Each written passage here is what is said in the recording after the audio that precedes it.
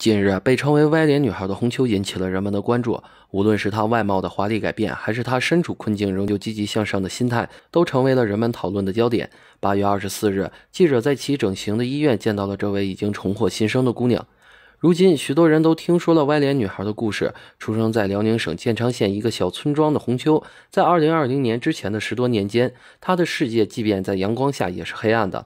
十二岁因病造成面部畸形，二零一三年母亲患癌离世，仅隔三年，父亲又遭遇车祸撒手人寰，心怀梦想却因长相被拒之门外。不过，即便自卑，即便经常碰壁，这个姑娘却并未放弃。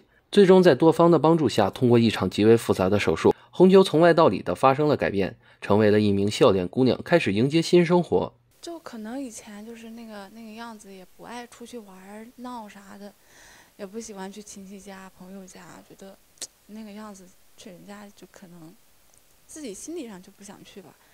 但现在就是就是完全可以接受了嘛，就从完就完全从以前的一种抗拒。状态，然后到现在一个，就是很欣然接受，可以就是甚至想主动去，去那个联系啊玩什么的。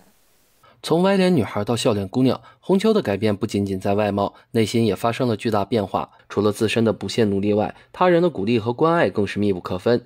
为红秋进行手术的沈阳某整形外科医院负责人告诉记者：“重塑外貌很重要，重塑心理则更为重要。更重要的是让他心理重塑心理，变得阳光自信。我们这重塑心理呢，我们有呃。”定期的一心理医生给他辅导，我们的护士就充当心，我们已经起到这个心理医生的作用。我们是一个团队，在一个就是比如说我们每一天在什么时间段给他进行心理疏导，我们进行什么样的时间带他就是进入到这个人群这种交流。所以其实一个自卑到自信是一个一套完整的一个过程。为了能够让红秋快速从黑暗的人生中摆脱出来，院方在充分准备并和红秋多次商讨后，采取了十分复杂并且难度极高的手术方案，让三年多的重塑过程浓缩到了一场手术当中。是有很多手术构成的啊。那么单个手术呢，其实我们也是平时也是常见的啊，常做的手术啊。虽然说复杂，但是呢，也不是呃非常少见啊。那么在他身上，这难就难哪呢？我们要一起啊，把这些手术都要做下来。